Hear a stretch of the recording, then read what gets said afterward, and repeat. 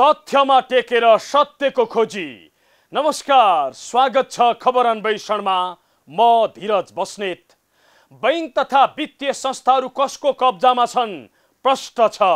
बजारमा उथल पुथल कसले ल्याउँछ? त्यो पनि छर्लङ्ग छ। बैङ्कहरूको ऋण र ब्याजमा कसको खेलो फड्को चल्छ? त्यो पनि भनिरहन नपर्ला। अझै अघि बढेर भन्ने हो भने मुलुकको अर्थतन्त्र कसको हातमा पुगिसक्यो? जवाफ हाजिर छ। कृपया यसलाई पूर्वाग्रह नठानिदिनुहोला। हामी तथ्यमा टेकेर सत्यको भाषा बोल्छौँ। को हुन् उनीहरू अब भनिरहनु पनि पर्दैन।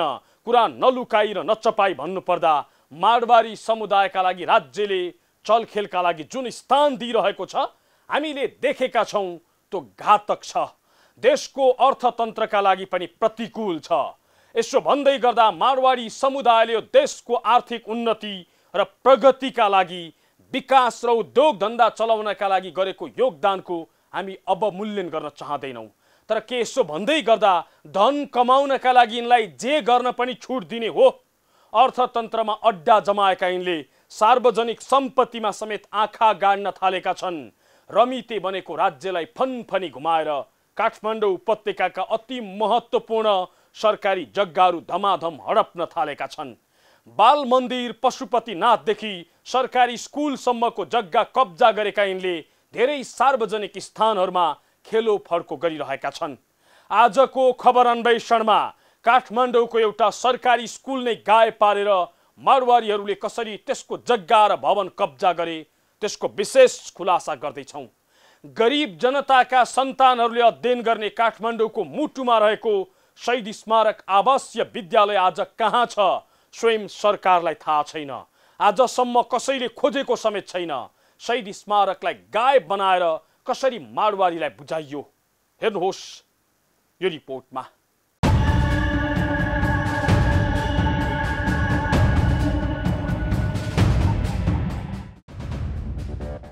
देशको अर्थतन्त्रमा अड्डा जमाएका माडवारीहरूले हिजो आज सार्वजनिक जग्गामा समेत आँखा गाड्न थालेका छन्।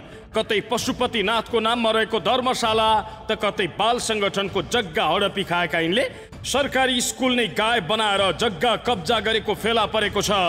यो शहीद स्मारक आवासीय विद्यालय त्यसैको उदाहरण हो जुन विद्यालयलाई गायब बनाएर आज यसको भवन र जग्गा माडवारीहरूले कब्जामा लिएका छन् र यही स्कुलमा भारतीय पाठ्यक्रम पढाउने यो निजी विद्यालय आलोक विद्याश्रम चलाइरहेका छन्। काठमाडौँको ज्ञानेश्वर ओह्रालोदेखि रातो पुलतर्फ जाँदा बायाँपट्टि शहीद मार्गमा रहेको शहीद स्मारक विद्यालयको अस्तित्व आज सम्पूर्ण रूपमा नामेट पारिएको छ। दुई हजार छिहत्तर सालसम्म चलेको यो विद्यालय त्यसपछि माडवारीहरूको कब्जामा पुगेको हो। नेपाल चेम्बर अफ कमर्स र माडवारी सेवा समितिको पूर्व अध्यक्ष समेत रहेका बनबारीलाल मित्तलको परिवारले सरकारी स्कुलको जग्गामा यो आलोक विद्याश्रम चलाएका छन्। निर्माण व्यवसायी महासङ्घको संस्थापक अध्यक्ष समेत रहेका मित्तलको नौ वर्ष अघि नै निधन भयो। अहिले उनको अधिकांश व्यापार व्यवसाय उनकी छोरी बानिता मित्तल अग्रवालले हेर्दै आएकी छिन्। उनी बानिताले शहीद स्मारक स्कुलको यो जग्गा र भवनमा आफ्नो निजी स्कुल चलाएकी हुन्। भारतीय पाठ्यक्रम पढाइने स्कुल वडा कार्यालय महानगरपालिका र केन्द्र सरकारसँग समेत अनुमति नलिई सञ्चालन गरेको समेत खुलेको छ। हामीसँग त यो पहिला सहित मेमोरियल बी स्कुल भन्ने चाहिँ मार्टेस स्कुल भन्ने चाहिँ पहिला निजी स्कुल थियो पहिला अठाइस सालभन्दा पहिला। अठाइस सालमा नि नयाँ शिक्षा लागु भइसकेपछि यो सरकारी विभाग शिक्षा विभागसँग यसको चाहिँ कुनै कनेक्सन भएको जस्तो बुझिन्छ। त्यसपछि गएर जब तपाईँको छत्तिस साल सैँतिस सालतिर चाहिँ यो फेरि कम्पनीमा सरकारी स्कुलबाट व्यक्तिमा गएको देखिन्छ। व्यक्तिमा गए गएको र चाहिँ जब कम्पनी चाहिँ नि बन्यो भने त कम्पनी भनेपछि कि व्यक्तिको नाममा दर्ता हुनुपर्छ कि समूहको रूपमा हुनु पऱ्यो सञ्चालक समिति अब यी विभिन्न होला। त्यसका हामीलाई चाहिँ केही वर्ष पहिलेसम्म यो चाहिँ शहीद मार्ग विद्यालयको उसमा उच्च मावि भनेरै सञ्चालनमा थियो। अब अचानक बिचमा चाहिँ यो चाहिँ आलोक विद्याश्रमले चाहिँ सञ्चालन गर्न आएको देखेपछि यो के हो भनेर हामीले सोद्धा चाहिँ हामीले चाहिँ भाडामा लिएको भन्ने कुरा आयो। भारतीय दूतावासको समेत कालो सूचीमा रहेकी आलोक विद्याश्रमकी संस्थापक तथा प्रिन्सिपल रहेकी बानिता मित्तलले सिबिएसईको परीक्षामा फेल भएका विद्यार्थीबाट रकम असुली गरेको आरोप छ। सोही आरोपमा उनलाई दूतावासले कालो सूचीमा राखेको हो। विद्यार्थीबाट अवैध असुली गरेको तर ती विद्यार्थी फेल भएको पाइए पनि कक्षा उत्तीर्ण गराएको खुलेको थियो।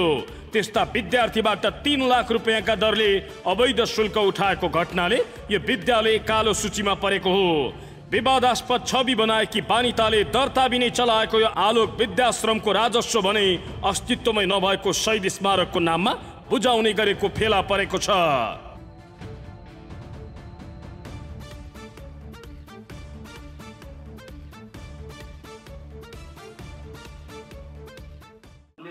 त्यो आफ्नो दर्ता नभएको विद्यालय यो कसरी चल्यो भनेर सोधखोज गर्न सक्नुहुन्थ्यो। दर्ता सोध्न सकिन्छ। अब त्यसमा हामीले ध्यान दिनु होला। एउटा के चाहिँ विद्यालय चलिरहेछ।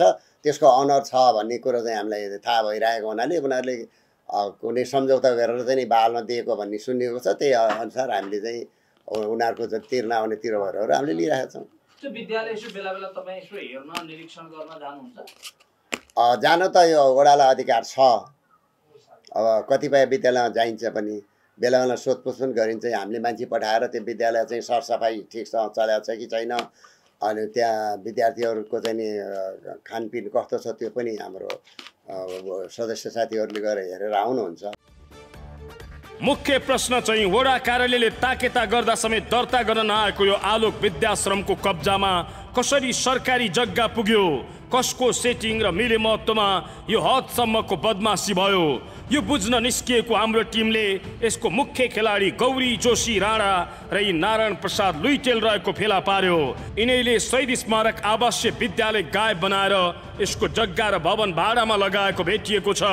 सरकारी स्कुल शहीद स्मारकलाई निजी बनाउँदै यसको अस्तित्व नै नामेट पारेका यिनले सम्झौता नै गरेर यसरी माडवारीहरूलाई यो स्कुलको जग्गा र भवन सुम्पिएको भेटिएको छ। दुई हजार छिहत्तर मङ्सिर तेह्र गते भएको यस सम्झौतालाई वडा अध्यक्ष दलबहादुर कार्कीले पनि प्रमाणित गरिदिएका छन्।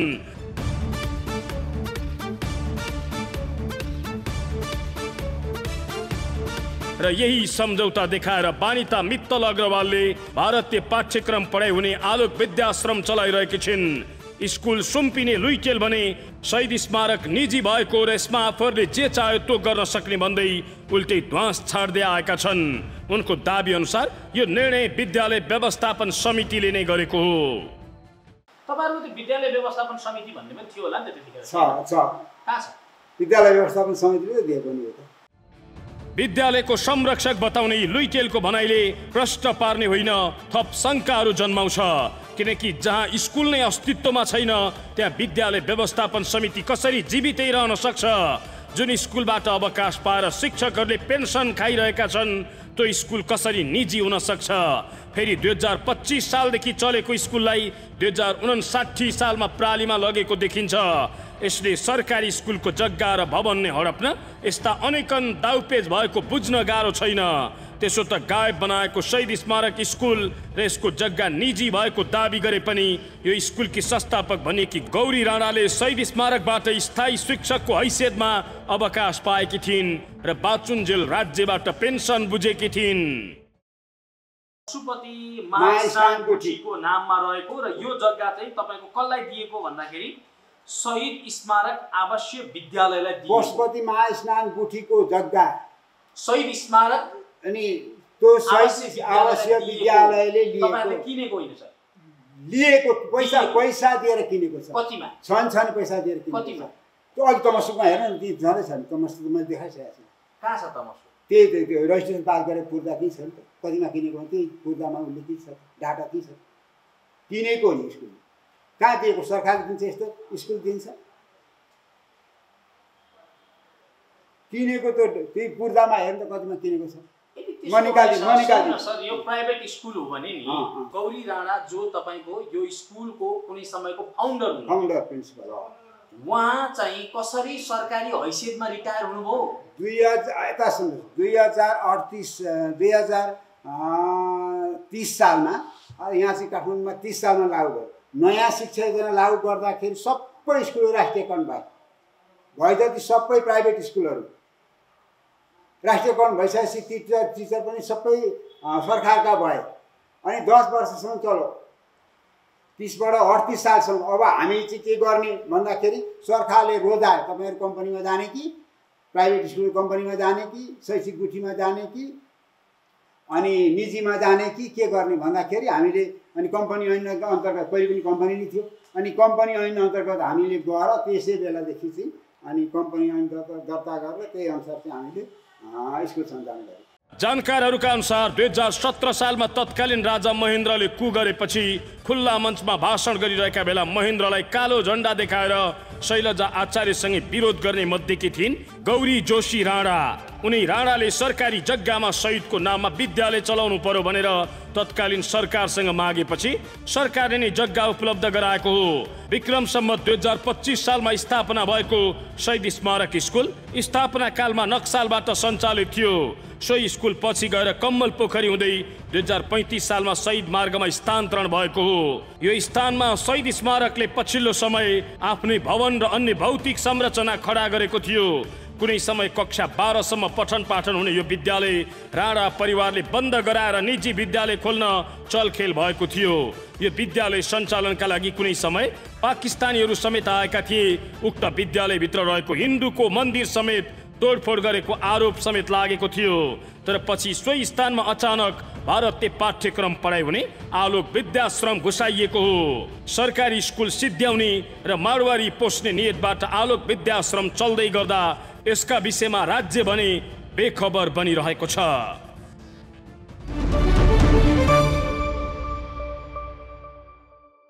अर्कोले त्यसै आँखा गाड्न सक्दैन जब आफ्नैले इसारा दिँदैन। शहीद स्मारक स्कुलको हकमा भएको यही हो। स्कुल सञ्चालकहरू नै बेची खाने प्रपञ्चमा लागे आ गरेर बसेका माडवारीहरूले यसैलाई मौका ठाने। त्यसमाथि राज्य नै रमिते बनेर बसिदिएपछि स्कुल नै गायब भयो। स्कुलको छरो पनि नौ आना जग्गा नै व्यक्तिको कब्जामा पुग्यो। सरकारी स्कुलको नामो निशान मेटेर खडा गरिएको भारतीय पाठ्यक्रम पढाउने स्कुल नै अवैध रहेको खुलेको छ। माडवारीहरूले चलाएको आलोक विद्याश्रमको कर्तुत देखाउनेछौँ। तर एकैछिनको विश्रामपछि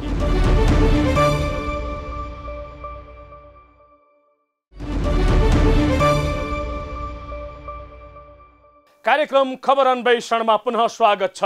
आजको श्रृङ्खलामा हामी एउटा चर्चित सरकारी स्कुल कसरी गायब भयो र त्यसको छरो पनि नौ आना जग्गामा माडवारीहरूले कसरी रजाई गरिरहेका छन् त्यसको विशेष खुलासा गरिरहेका छौँ। शहीदको सम्झनामा खोलिएको एउटा सरकारी स्कुललाई त्यसकै व्यवस्थापकहरूले निजी बनाउँदै करलप्पै पारे। अहिले मेरो निजी सम्पत्ति भन्दै त्यही स्कुलको भवन र जग्गा भाडामा लगाएर खाइरहेका छन्। त्यो पनि अवैध निजी स्कुललाई। माडवारीहरूले चलाएको भारतीय पाठ्यक्रम पढाउने आलोक विद्याश्रमको कर्तुत र यिनलाई पोस्ने बिचौलियाहरूको बदमासी हेर्नुहोस्। यो रिपोर्टमा।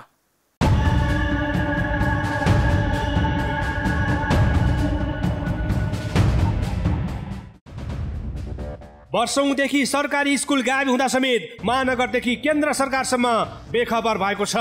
काठमाडौँ महानगरपालिका वडा नम्बर तिसको ज्ञानेश्वरमा रहेको शहीद स्मारक आवासीय विद्यालय आज अस्तित्वविहीन बनेको छ। कागजी रूपमा जीवितै रहे पनि भौतिक रूपमा कतै देख्न नपाइने यो विद्यालयका विषयमा आजसम्म कसैले सोधी खोजी समेत गरेका छैनन्। सरकारी हुँदै निजी बनाएर गायब पारीको शहीद स्मारक विद्यालयको जग्गा र भवनमा अहिले अर्कै विद्यालय चलिरहेको छ। जसका विषयमा वडा कार्यालय जानकार छ तर कुनै एक्सन लिन सकेको छैन। मारवाडी समूहले शहीद स्मारकको जग्गामा आलोक विद्याश्रम चलाउँदै गर्दा यो विद्यालय ओडामा दर्ता समेत भएको छैन।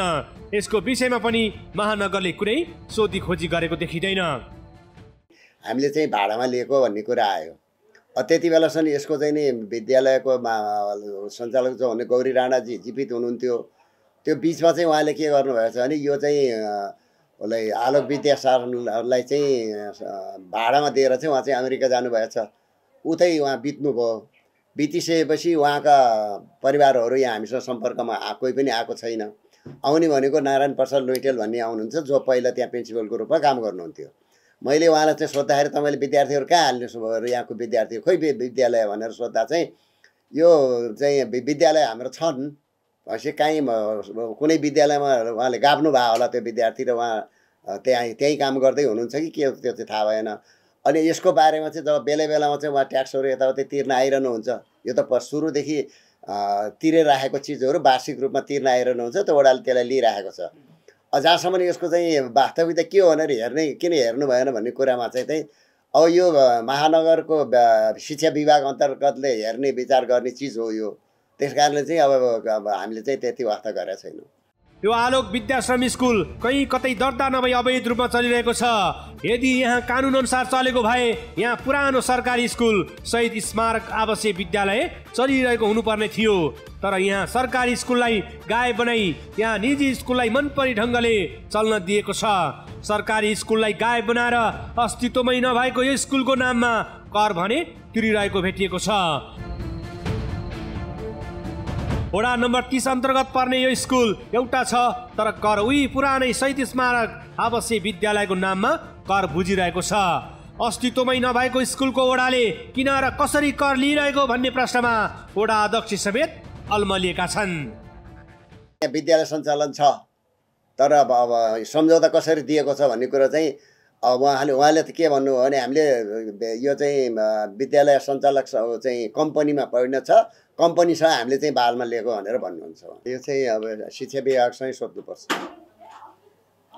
तपाईँहरूले त त्यो आफ्नो वडामा दर्ता नभएको विद्यालय यो कसरी चल्यो भनेर सोधखोज गर्न सक्नुहुन्थ्यो। दर्ता सोध्न सकिन्छ। अब त्यसमा हामीले ध्यान दिनु होला। एउटा के चाहिँ विद्यालय चलिरहेछ।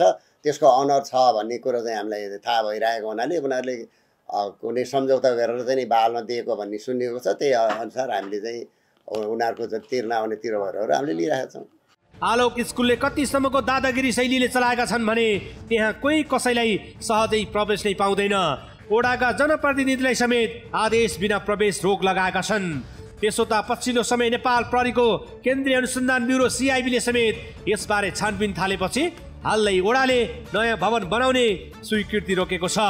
यसबारे महानगरको शिक्षा विभागमा जानकारी गराइसकेको र यसको छिनोफानो नभएसम्म कर समेत नबुझ्ने ओडाले निर्णय गरेको छ। अ, त्यो खोज्नु पर्ने हुनसक्छ। त्यो खोजौँला हेरौँला परे आयो परिस्थिति आयो भने त त्यो गरौँला नि त्यो के भएर भर्खर कुराहरू उठिरहेछन् के हो कसो हो भनेर। त्यो वडा त्यो स्कुलको जग्गा जहाँ अहिले भाडामा लगाइएको छ त्यो स्कुलको जग्गा चाहिँ सरकारी हो कि भन्ने तपाईँहरूको बुझाइ छ कि? होइन। होइन यो निजी नै हो। यो व्यक्तिले यसरी उपयोग गर्न पाउँछ भन्ने वडाको बुझाइ हो? अब हाम्रो भने मेरो उसमा चाहिँ त्यो विद्यालयको जग्गा चाहिँ विद्यालयको नाउँमा हुनु पर्थ्यो हुनुपर्छ। त्यो चाहिँ अब पछि चाहिँ नि विद्यालयलाई कम्पनीमा परिणत गरिसकेपछि के कस्तो अवस्था आउँछ त्यो चाहिँ मलाई जानकारी छैन। आलोक विद्याश्रम सञ्चालित जग्गा र त्यहाँ निर्मित भौतिक संरचनाहरू सहित स्मारक माध्यमिक विद्यालयको नाममा रहेको वडा नम्बर तिसको कार्यालयको दावी छ। तर शहीद स्मारक आवासीय विद्यालयका तत्कालीन प्रधानध्यापक नारायण लुइटेलले भने यो स्कुल र भौतिक संरचना सबै आफूहरूको भएको दावी गर्दै आइरहेका छन्। हाल आलोक विद्याश्रम स्कुलको संरक्षक रहेका लुइटेलले यो सम्पत्ति सरकारी नभई आफूहरूले व्यक्तिसँग किनेको भन्दै आफ्नो सम्पत्तिमा जे गरे पनि पाइन्छ भन्दै ध्वस देखाइरहेका छन्। यहाँ चाहिँ लिखत नै छ देखाइदिनु त्यो स्कुल खोइ त स्कुल भन्नु स्कुल। त अनाममा मज गराएको छ। अब हामी बिस्तारै मत गराएर अनि यहाँ भाडा लाएर खान पाइन्छ। कम्पनीको स्कुल भाडा लाउनलाई कुन आपत्तिको कुरो भयो? यो सरकारी नै होइन भाडा लाएर खान पनि कसैले रोक्न सक्दैन। अब त्यो कुरो चाहिँ के भनेदेखि सरकारी होइन। हाम्रो कम्पनीको कम्पनीको स्कुल हो। कम्पनीको स्कुल हामीले चाहिँ के भनेदेखि भाडामा दिन लिन थप्न घटाउन बढाउन हाम्रो ऐसी कुरा। लुइटेलले त्यस्तो दावी गरे पनि यो जग्गा पशुपतिमा स्थान गुठीको जग्गा हो। जग्गाको मोही सहित स्मारक आवासीय विद्यालय भनेर जग्गा धनी पूर्जामा प्रष्ट उल्लेख छ। तर आज विद्यालय नै गायब हुँदा समेत न गुठीले खोजेको छ न महानगर र न केन्द्र सरकारले नै खोजी नीति गरेको छ। यो पत्र हेर्नुहोस्।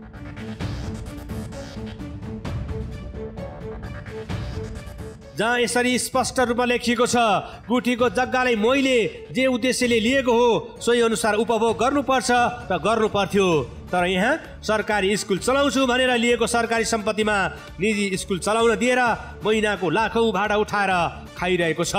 आफ्नो जग्गामा यसरी निजी व्यक्तिहरूले भाडामा लगाएर खाँदा समेत गुठी समेत बेखबर छ। हामीले यो कुरा सोधी खोजी गरेपछि मात्रै गुठीले ध्यान आकर्षण भएको भन्दै अब बुझ्ने बताएको छ। होइन मतलब हुन्छ। जग्गा मतलब हुन्छ तर उसले कुदबाली बुझाएको छ कि छैन मतलब हुन्छ होइन। कुदबाली बुझाएको छ भने अब त्यो विषयमा चाहिँ तपाईँहरूको उजुरी पर्यो अथवा यस्तो गरेका छैन भन्ने हो भने त्यसलाई हामी निरीक्षणमा चाहिँ गर्न सक्छौँ। शहीद स्मारक आवासीय विद्यालयका पूर्व कर्मचारीहरूको अनुसार विद्यालय व्यवस्थापन समितिले नै सरकारी जग्गा सहितको भौतिक संरचना आलोक विद्याश्रमलाई भाडामा दिएको बताएका छन्। जबकि यसरी सरकारी जग्गा विद्यालय व्यवस्थापन समितिले अन्य कसैलाई पनि भाडामा लगाउने अधिकार छैन। मन्त्री परिषदको निर्णयको आधारमा मात्रै सरकारी जग्गा भाडामा दिन पाइने कानुनी व्यवस्था छ। अर्को चाख लाग्दो कुरा जुन स्कुल अहिले अस्तित्वमा छैन विद्यालयको व्यवस्थापन समिति चाहिँ छ। लुइटेलका अनुसार अहिले पनि स्कुलका व्यवस्थापन समिति भएको बताउँछन्। तपाईँहरूको त्यो विद्यालय व्यवस्थापन समिति भन्ने पनि थियो होला नि त त्यतिखेर। छ छ? विद्यालय व्यवस्थापन समितिले त दिएको नि हो त। विद्यालय व्यवस्थापन समितिमा को को छ विद्यालय व्यवस्थापन समितिमा पे- सदस्य सचिव म अनि गङ्गा अधिकारी अनि लगायतका चाहिँ रजेन्द्रलाल प्रधान लगायतका मान्छेहरू हुनुहुन्छ अनि अनि अनि म्यामको छोरी छोरो अर्की छोरी। प्राइभेट स्कुलको व्यवस्थापन हुनुहुन्छ। शहीद स्मारक आवासीय विद्यालयका अध्यक्ष गौरी जोशी राणाले विद्यालय सञ्चालन गर्न नसक्ने अवस्था भएपछि भाडामा दिएको बताएको छ। राणाको भने एक वर्ष अघि निधन भइसकेको छ। हाल यो सरकारी जमिन र बनेको भौतिक संरचना आलोक विद्याश्रमले चार वर्ष अघि दस वर्षको लागि भाडामा लगाएका छन्। गौरी जोशी राणाको छोरीले मासिक भाडा चार लाख उठाउने गरी भाडामा दिएका छन्। हाल राणाकी छोरी अमेरिकामा बस्दै आएकी छिन्। अब त्यो सम्झौता पत्र म तपाईँलाई प्रोभाइड गर्छु अहिले मसँग छैन यहाँ होइन? तपाईँलाई प्रोभाइड गर्छु पर मन्थ पाँच लाखका दरले बुझाउने गरी अब चार वर्षसम्म चाहिँ पहिला चार लाख थियो अनि त्यहाँबाट पाँच लाख भयो अनि अब त्यो पाँच लाख चाहिँ अब दुई वर्षपछिदेखि छ लाख हुन्छ त्यसरी चाहिँ बुझाउने दस वर्षको कन्ट्याक्ट छ दस वर्ष कहिले सकिन्छ? अब छ वर्ष लाग्ला पाँच छ वर्ष लाग्ला। मैले त्यो डाटा हेर्नुपर्छ। संस्थापक अध्यक्ष राणाको निधन भएपछि बानिता मित्तलले चलाइरहेकी छिन्। मित्तल आलोक विद्याश्रमकी संस्थापक तथा प्रिन्सिपल समेत हुन्। शैक्षिक सेवाबाट आम्दानी आलोक विद्याश्रमले गर्ने भए पनि त्यसको कर भने शहीद स्मारक आवासीय विद्यालयकै नामबाट बुझाउँदै आएका छन्।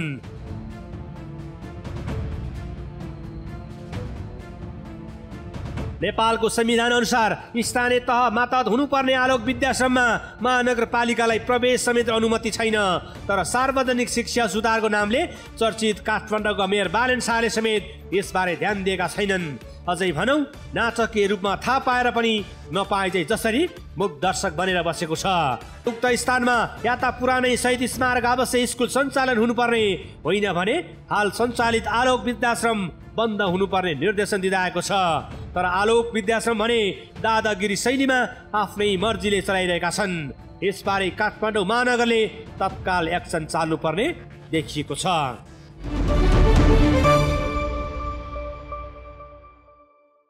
शहीदको नाममा खुलेको सामुदायिक विद्यालयमा भारतीय पाठ्यक्रम पढाइने विद्यालय स्थापना गर्नुको तुक र तर्क के? छ राज्यसँग जवाफ। राज्य यसरी नै चुप र निरीह बसे जनताले जग्गा खोज्ने दिन नआउला भन्न सकिन्न।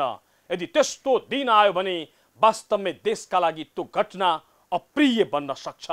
यो हामीले कसैलाई धम्क्याएको होइन हाम्रो सुझाव मात्र हो। सरकारी र सार्वजनिक सम्पत्तिमा यो राईदाई सुहाउने विषय हुनै सक्दैन।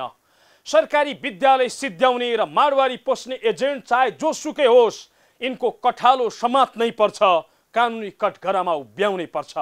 नत्र आज एउटा स्कुल गाय बनाए भोलि अर्को स्कुल बनाउलान् पर्सि गाउँ नै गाए पारिदेलान् अनि देशकै पालो आउला के यो अवस्था आउँदासम्म पनि राज्य रमिते नै बनेर बस्ने हो? होइन भने सरकारले बेलैमा ध्यान पुर्याओस् यस्ता बदमासमाथि तत्काल छानबिन अघि बढाओस्। हौस् त आजलाई यति नै। हामी सबैलाई बिदा दिनुहोस्। नमस्कार।